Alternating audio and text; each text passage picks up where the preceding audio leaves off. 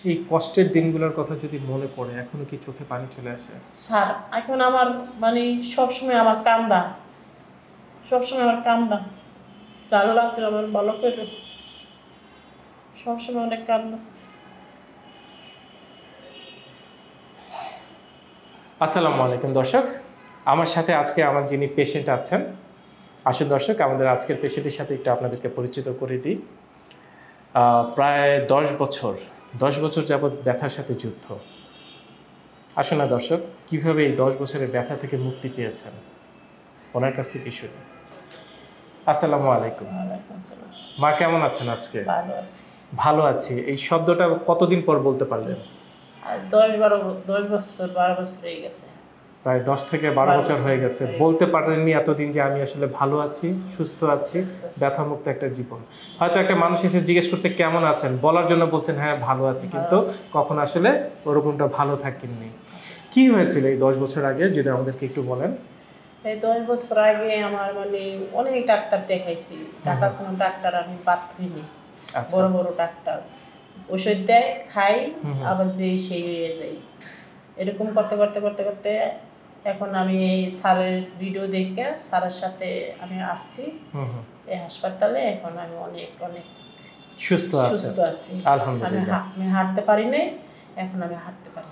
ওকে আলহামদুলিল্লাহ। মা আমরা জানি যে আপনি দশ বছর থেকে আপনি ব্যথার সাথে যুদ্ধ করছেন। আমাদেরকে যদি একটু প্রথম শুরুটা বলেন যে কোনো অ্যাক্সিডেন্ট বা কি কিছু দিয়ে এই ব্যথাটা শুরু হয়েছিল নাকি হঠাৎ করে একদিন দেখছেন আপনি ব্যথা?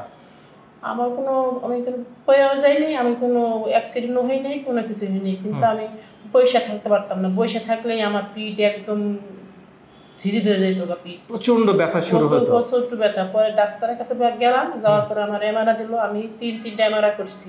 আচ্ছা। হ্যাঁ এই ডাক্তার যত ডাক্তারের কাছে গেছি সব ওষুধ দিয়ে দিছে কোনো ওষুধ দিয়ে আমার কাজ হয় নাই।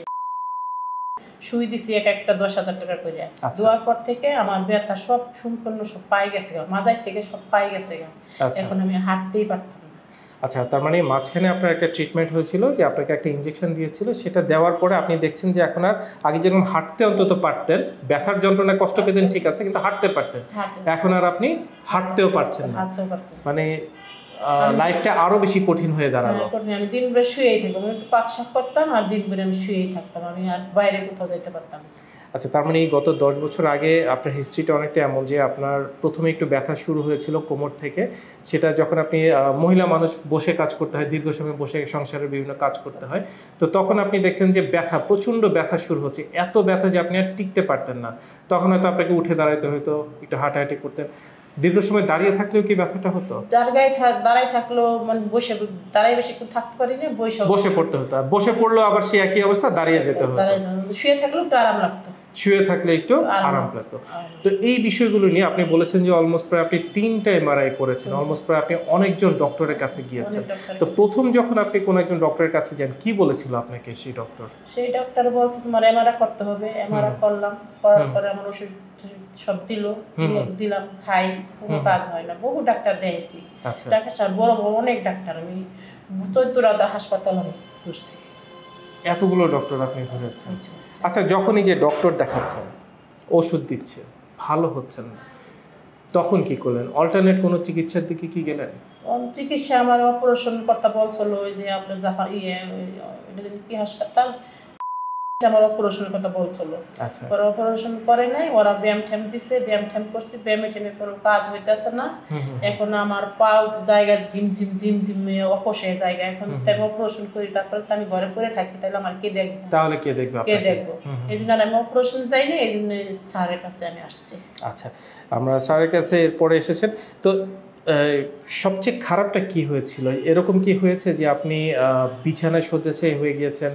মানে বিছানা থেকে উঠতে পারছেন না কারও সাহায্য ছাড়া বাথরুমে যেতে পারছেন না নিজের কাজগুলো করতে পারছেন না নিজের কাজগুলো আস্তে আস্তে করছি কিন্তু উঠছি আমার নিজের ইয়ে উঠছি আমার কেউ সাহায্য তো করে নাই কিন্তু আমি মানে প্রচণ্ড কষ্ট নিয়ে? কষ্ট- কষ্ট নিয়ে আমি উঠছি। সেই কষ্টের দিনগুলোর কথা যদি মনে পড়ে এখনও কি চোখে পানি চলে আসে? স্যার এখন আমার মানে সবসময় আমার কান্দা।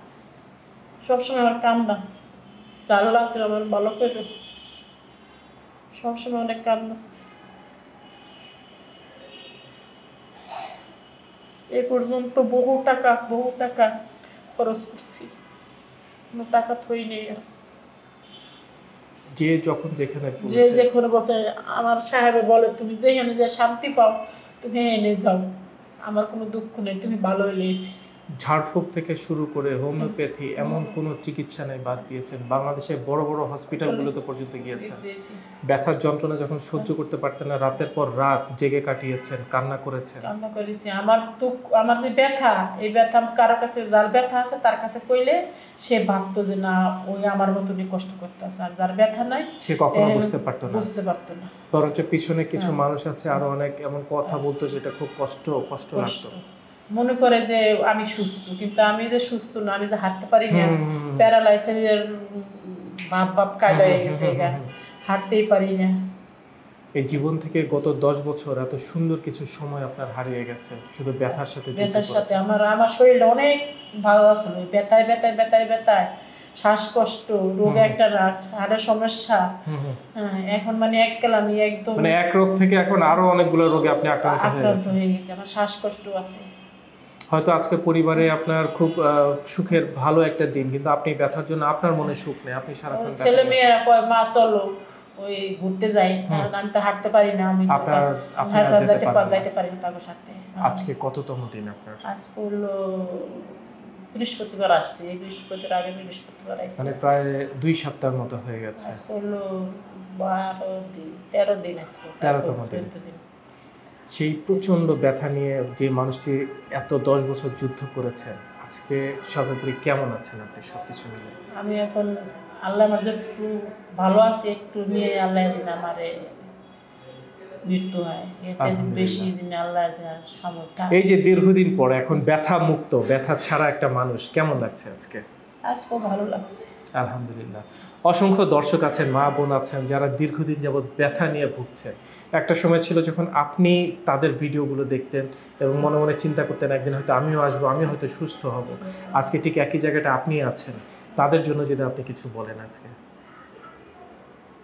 আলহামদুলিল্লাহ আমি ভালোই আছি। আপনারা সবাই আয়া ডাক্তারের সাথে আপনারা শেয়ার করে সুস্থ হতে পারবেন।